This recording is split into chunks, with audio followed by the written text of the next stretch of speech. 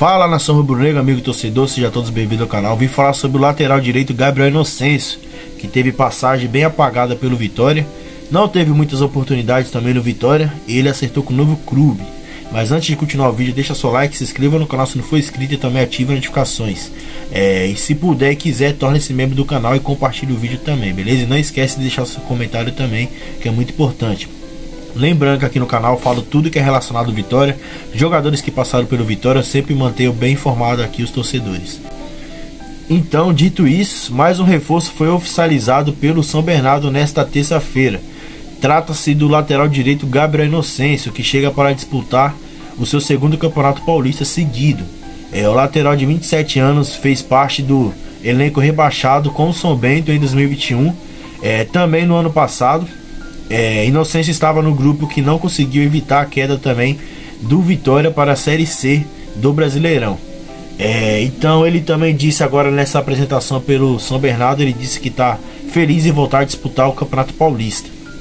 Ele disse que está bastante feliz e ele espera também fazer um bom campeonato lá. É, ele foi revelado pelo Grêmio e Gabriel Inocêncio atuou no rival também do São Bernardo, com o Esporte Clube São Bernardo em 2019, disputando 23 partidas e marcou dois gols. O lateral passou também por Mirassol, Taubaté, Barretos, Noroeste, Monte Azul e Boa Esporte de Minas Gerais, entre outros clubes.